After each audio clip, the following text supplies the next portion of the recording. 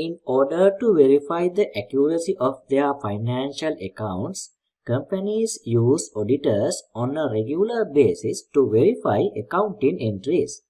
The company's employees make erroneous entries 5% of the time. Suppose that an auditor randomly checks three entries. Find the probability distribution for y, the number of errors detected by the auditor. Three entries. So, entry 1 and entry 2, entry 3. Right. Then, how, what are the possibilities? So, first, let me use E for an error on a single entry and I use n for no error. Now think about all possibilities. There are three entries. So they check these three entries, right? So then maybe first one they uh, get the error entry and second one also error entry and third one also error entry. So we can say error, error, error. All three errors. Or there is another possibility E error and Again second one also error and third one no error. Similarly error, no error, error, error, no error, no error. Then no error, error, no, no error, no error, no, then no error, no error, no error. Now think about why the number of errors detected by the auditors. First, we need to understand the value of y. So, if y the number of errors, so check this one. How many errors? We have three errors. For this, two errors, two errors, one error, two, one, one. Here, no errors. Right? Therefore, what are the values of y? Yes, y values, we can say y values 0, 1, 2, 3. These are the y values. Then we need to find the probabilities for this. Probabilities of y equal y.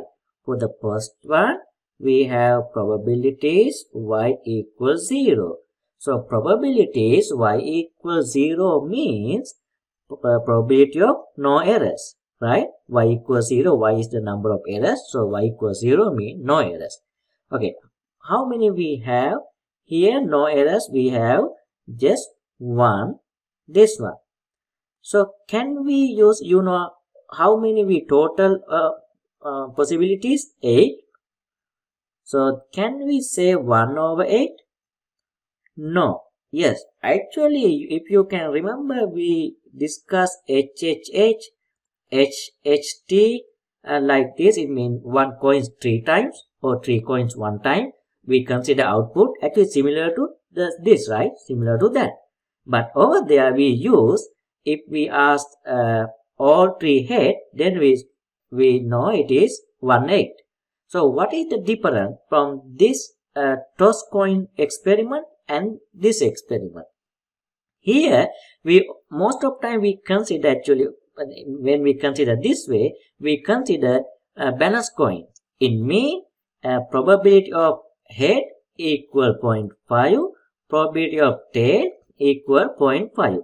Then actually we can consider this method. It mean how many uh, how many uh, the same event like uh, you see uh, n n n probability of uh, no errors y equals 0 then we can say 1 over 8 because we have already 1 out of 8 if we had the same, same probability. It means 50%.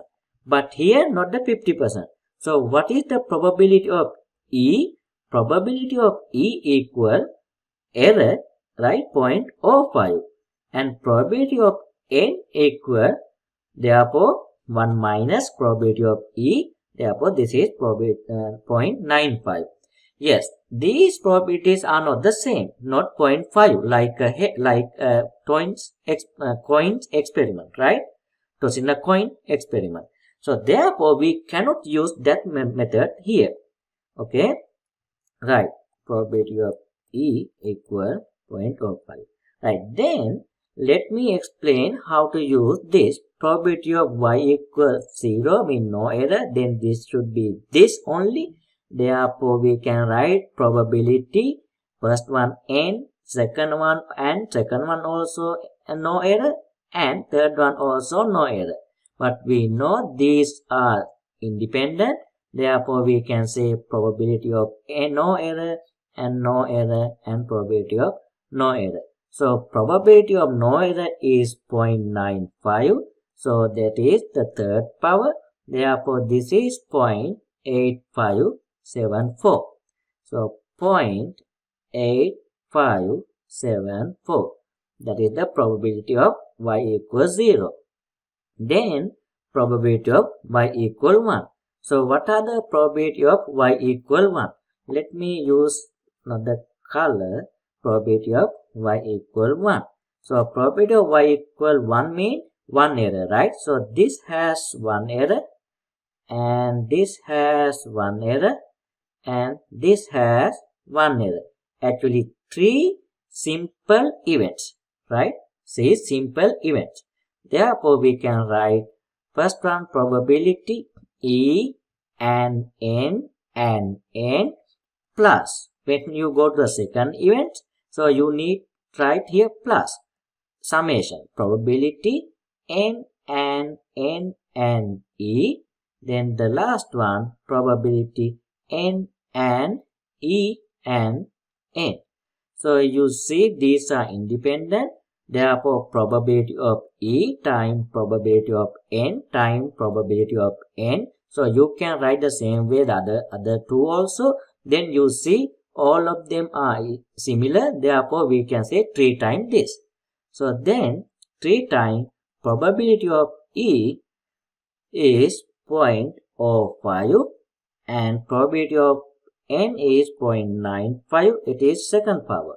So this is 0.1354 therefore 0.1354 so we have that. Then probability y equal 2 so probability y equal to how many years we have again 3 but this this and this. But probability is, how do we write? Probability E and E and N plus probability E and N and E plus probability N and E and E. So you know these are independent. So we can write probability of E time probability of E time probability of N and other two also the same. Therefore we can multiply by 3 so then how do we find the probabilities? 3 times point oh five to power 2 times 0.95 right? So this is 0.007125 so we can write 0.007125 so last one in uh, y equal 3. So you know probability of y equal 3 we have only one that is the left. Actually you can find this one this way also you can say 1 minus probability 0.8574 plus 0.1354 plus 0.07125. You can find that way too. But let me find the, the same way what we did for the uh, like others so I, I can say probability of E and E and E. So this is this independent. So probability of E time probability of E time probability of E.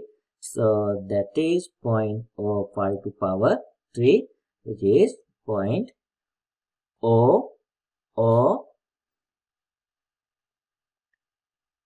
O 1 to 5. Therefore point O O O 1 to 5 0 0 0 1 to 5. These are the probabilities for y equals 0 1 2 3. Actually that is the probability distribution for y this table. Next, find the probability that the auditor will detect more than one error. Okay, detect more than one error. So then, probability y more than one error is greater than 1. So this is discrete. Therefore, we can write greater than equal to. So what are the values? y equal to plus probability of y equal 3. So probability of y equal to from the table you can find the probability of y equal to. What is the probability of y equal to? This one here you see that is 0.07125 plus 3.000125. So once you add them you can have 00725. So that is the probability of uh, that uh, auditor will detect more than one error.